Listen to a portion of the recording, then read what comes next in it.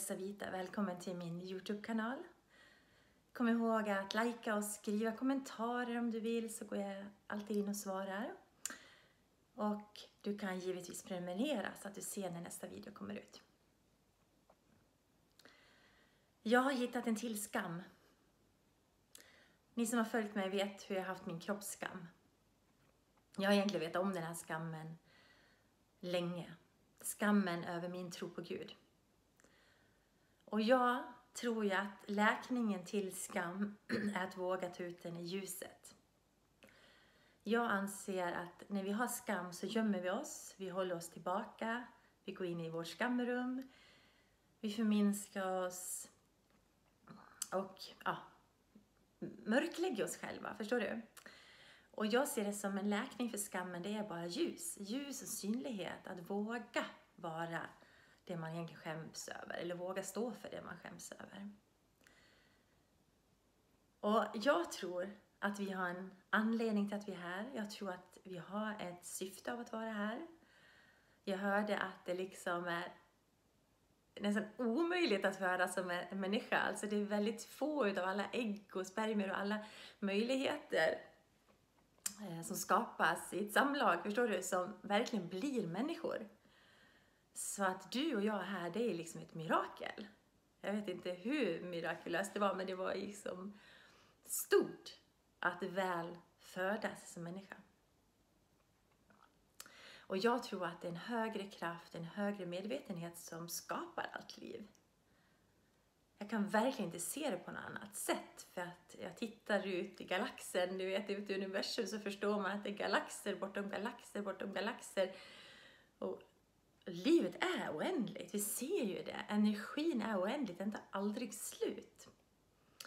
Och sen sitter du och jag här nu och vi är skapade till det här, till våra kroppar, och vi har ett mind, och vi har känslor och vi har varandra och vi har en härlig planet. Jag tror inte det är alltså, meningslöst, jag tror att det har en mening allting. Så vem har då skapat all den här meningen? Vem har skapat oss? För vi är ju, uppenbarligen vi människor, vi är otroligt kreativa och duktiga men vi kan inte skapa riktiga liv än. Vi kan inte få hjärtat att slå, vi kan inte få själen att träda in. Vi kan liksom inte få ihop allt det där. Så det är min tro på Gud. Det syftar till den högre kraften, högre medvetandet som har skapat allting. Och åter till skammen så tänker jag, om jag tror att det är en högre kraft som har skapat allting till perfektion, även om vi inte känner oss perfekta så är vi skapade till perfektion. Och jag tror att det är meningen att den här möjligheten jag har fått nu att få födas som människa, så tror jag att jag ska vara unik, jag ska vara precis som jag är. Varenda lite egenskap, på mig, i mig, i min personlighet är liksom ämnad för någonting. Det är liksom en sammansättning som är unik i mig och i dig. Och vi ska liksom embrace all of it. Alltså vi ska bara omfamna allt vad vi är. Så åter till skammen. Det är ju delar som inte jag vill omfamna, eller hur? Delar som jag skäms över, som jag vill dölja. Oavsett om det är ett handikapp, om det är psoriasis, om det är min tro på Gud, om det är min övervikt, om det är min glugg mellan tänderna, eh, om det är mitt skratt, om det är min blyghet, om det är mitt, min framåtanda, vad som helst. Allt det där som vi försöker dölja, det är egentligen egenskaper som ska bidra till vår unikitet. Som Gud har gett oss för att vi ska omfamna. Så att jag skämdes för kroppen var en sak, men sen att jag skäms för Gud, alltså min gudstro, när jag egentligen tror att allting har en mening, och då behöver jag också tro att jag har en mening och att Gud har ett syfte med mitt liv. Och ändå skäms jag för den delen. Så jag tror på att vi ska liksom stå starka som vi är, stå stolta som vi är, våga vara de vi är. För jag tror så länge vi försöker dölja något, hålla tillbaka något, förminska något, förbättra något, så skapar det liksom en, förstår du, en friktion, det blir någon ansträngning där. Det är liksom som att motorn går tungt Maskineriet går tungt. Men jag bara släpper det där av att förminska, förbättra, du vet, gömma, lyfta fram. Jag bara släpper det och låter mig vara som jag är. Då blir det friktionsfritt. Det liksom bara det där flytta på, energin börjar flöda i mig. Och det syns i ögonen på någon som är i kontakt med det, för det liksom blir en energi, glow där. För att vi är oss själva. Det är jätteansträngande att inte vara sig själv. Det är hur ansträngande som, själv, som helst, inte som själv, utan man är hur ansträngande som helst att inte vara sig själv. Så känner du att du är trött och sådär, så börja titta på, håller du på ändra dig till någonting? Eller håller du på att anpassa dig efter andra? Är du rädd för vad andra ska tycka? Försöker du vara mer till lags eller mindre till lags till någon? Stänger någon ute? Eller försöker du springa och öppna massa dörrar som egentligen är stängda? Förstår du? Man bara... När, när det går åt energi så är det någonting som är fel. Vi ska ju vara fyllda med energi, det ska vara ett flöde här. Och då kommer jag tillbaka till min andra del i det här med Gud.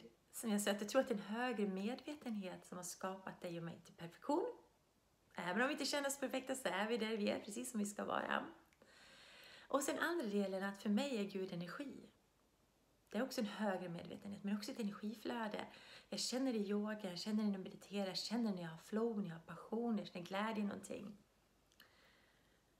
Så när jag är energilös eller trött så är det också ett tecken på mig, är jag nu distanserad från Gud? Från det gudomliga? För om jag vore i kontakt med det gudomliga nu, då skulle jag ha energi. För att det är ju inte bara energi som matar mig här nu, som en, att man äter en bra frukost eller sådär. Det är inte den energin, utan den gudomliga energin. Och den fylls ju på hela tiden och vi har förmåga att vara öppen och vara i kontakt med den. Så det är också en del i min gudstro, att vara i kontakt med den här energin.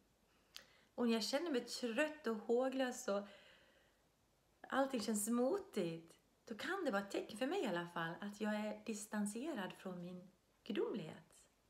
Andligheten, Gud. Jag har försökt att gå ifrån det någonstans. Jag har försökt att kontrollera någonting. Eller gömma någonting igen. Eller vara någon till lags igen. Eller förstår ni? Jag har bara gjort avkall på mig själv. På min sanning och den jag vill vara. Och den jag är.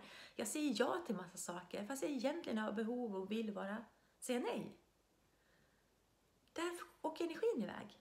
Förstår du? För att vara i kontakt med Gud är att vara i kontakt med dig, att vara sann. Det är mycket integritet i det. Att hitta tillbaka till din kärna, så som du föddes. Tänk en liten bebis som föds. Helt opräglad. Bara kommer ut, full av kraft. Dunder Ronja skrik på, på jorden. Här är jag! Skriker efter sina behov struntar i vad alla andra tycker och tänker. När den behöver äta så uttrycker den det. När den behöver sova så somnar den. När den har ont någonstans talar den om det. Och den känner sig outstanding. Jag har inte sett en enda bebis som inte känner sig outstanding. Och den lyser ju inte mer än någon annan bebis. Alla bebisar kommer ut med den energin av att här är jag. Och jag är viktig. Och mina behov är viktiga. Här är jag, här står jag med min sanning. Och jag tror att vi ska hitta tillbaka till den kraften för jag tror det liksom är fantastiskt att vara i det. Och att stå i den kraften är inte att vara dum mot någon annan eller göra taskiga saker, även om du säger nej. För om du behöver vara sann mot dig själv så blir andra inspirerade att vara sanna mot sig själva och till slut går alla runt med massa glow och energi och gudomlig kontakt och närvaro och påfyllnad och mår bra. Och då är nästa del i det här, det är att när vi är sanna, stå i vår sanning, våga vara de vi är fullt ut, då har vi någonting att ge andra. Inte det här springa runt och liksom ge utifrån att man har behov av att vara snäll, för behov av egentligen bli omtyckt och bekräftad och bla bla bla, utan du ger ifrån din sanning. Du ger utifrån din passion. Du ger utifrån din kraft. Du ger utifrån att du är i kontakt med någonting gudomligt, ljus, glow inom dig. Så har du möjlighet att ge energi. Ge hopp. Var en vägvisare. Och jag kan ju inte stå sann i mig. Jag tar mig själv som exempel. Jag kunde inte stå sann i mig själv för jag hade ju värsta issues med min kropp. Jag skulle aldrig kunna ha gjort den här videon för ett år sedan.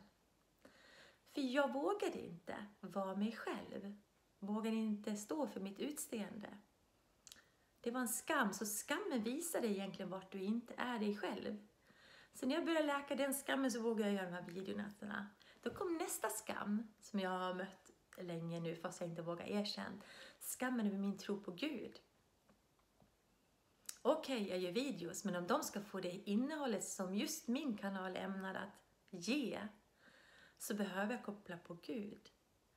För det är det viktigaste för mig. Och för mig handlar det aldrig om kroppen, utan det handlar om att komma fram i min kraft. Och jag kommer inte fram någonstans av egen kraft. Anledningen till att jag har kraft och att jag har glow, att jag har energi och jag har står här i någonting nu, det är för att jag är i kontakt med Gud. Och den delen vill jag dölja. Det funkar inte så, eller hur? Det är helt omöjligt. Jag kan inte skämmas över någonting för då döljer jag det. Och då kan inte det bli min kraft. Jag måste äga det som min vän Anna Moa säger. Jag måste äga det.